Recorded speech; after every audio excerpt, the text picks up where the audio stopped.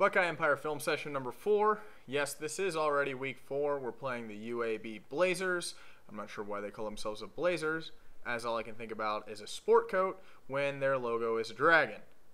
The Big Ten looked pretty pathetic again this week, with Wisconsin barely squeaking out a win against Utah State, Michigan State dropping it to Notre Dame and trying to make them relevant again in the football world, and us giving up almost as many yards to a guy named Bigelow as we did against Tim Biakabatuka.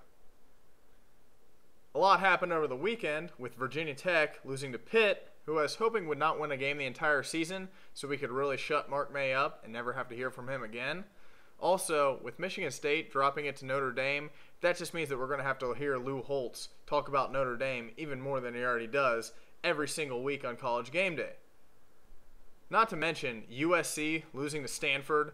I'm not exactly a USC fan by any means, but I definitely don't want to see Alabama and LSU at the top of rankings again.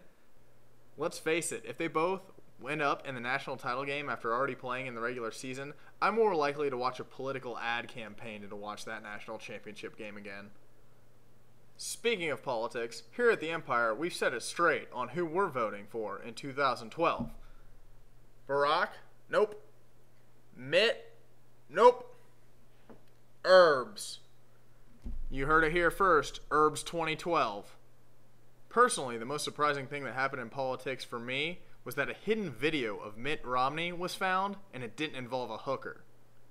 So, in the spirit of all of politics, I've decided, yes, to devote an entire section of my film session, this one here, week four, UAB, to politics. So, I give you now the political section of Buckeye Empire Film Session. Pretty stellar reporting, right? Now, back to Arkansas. I don't know if they're trying to become the Michigan of 2007, but I did pick them this week, so hopefully their quarterback's rant about their team quitting will actually pay off more than the normal Jay Cutler spouting off about something and just ending up losing. On to my weekly section about Michigan.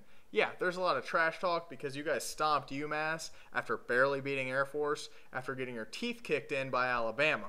But listen, the next time that somebody wants to tell me that we're bowl ineligible, you know what I'll have to say? I'd rather not play in a bowl because we're ineligible than not play in one like we suck, like you did in 2009.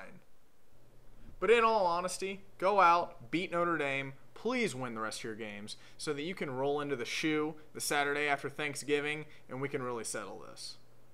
On to the UAB Dragons. I'm going to call them that. That's what their logo is. That's what their mascot is. If they wanted to be a Blazer, they could dress somebody up in a suit, and then they could be Blazers.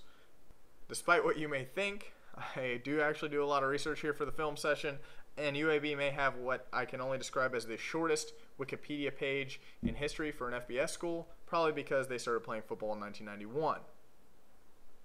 Now, I can't talk a lot of shit about a team that's only been around for like 20 or so years. As far as wins and losses, obviously that's kind of a difficult situation. Uh, you're not going to have a whole lot of wins there in your first 20 years.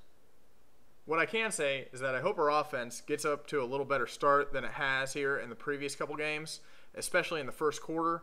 I mean, really, we're all kind of tired of waiting for the second quarter. I don't know about everyone else, but I didn't really plan on getting my uh, yearly tradition Ohio State gray hairs in quite yet. Uh, I'm 27.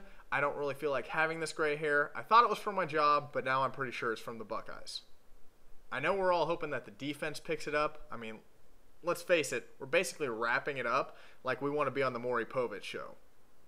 But seriously, we can only hope that the entire defense takes a page out of John Simon's book, plays through some adversity, goes out there, and shuts UAB out we need this last game before Big Ten play to start looking good. We need the offense clicking a little bit better in the first quarter. We need the defense playing a lot better.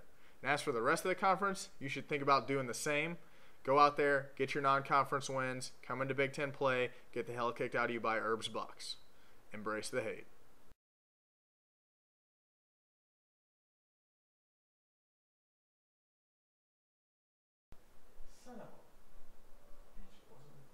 Quarterback's rant goes off a little bit better. All right, shit.